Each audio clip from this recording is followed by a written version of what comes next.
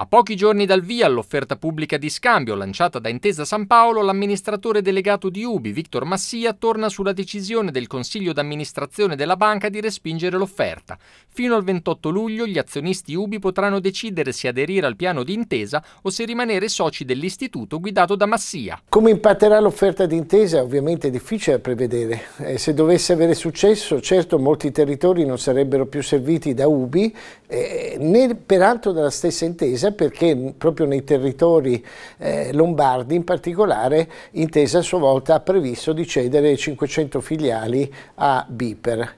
Eh, il nostro Consiglio si è espresso sulla non convenienza e in maniera argomentata sull'offerta.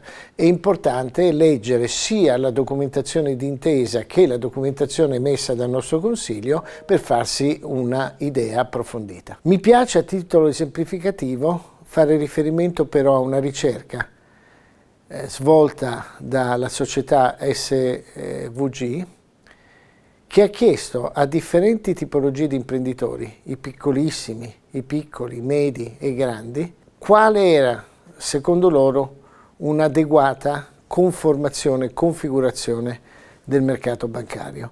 Ed è emersa con grande forza la scelta di avere adeguata competizione.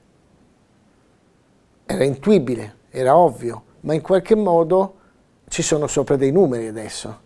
Oltre il 60, in alcuni casi oltre il 70% delle aziende vuole avere la possibilità di scegliere fra diversi eh, concorrenti sani. Intesa una banca molto sana e molto grande, ma anche Ubi è una banca sana, Intesa stessa lo riconosce. Gli imprenditori dicono vogliamo più di una banca nei nostri territori.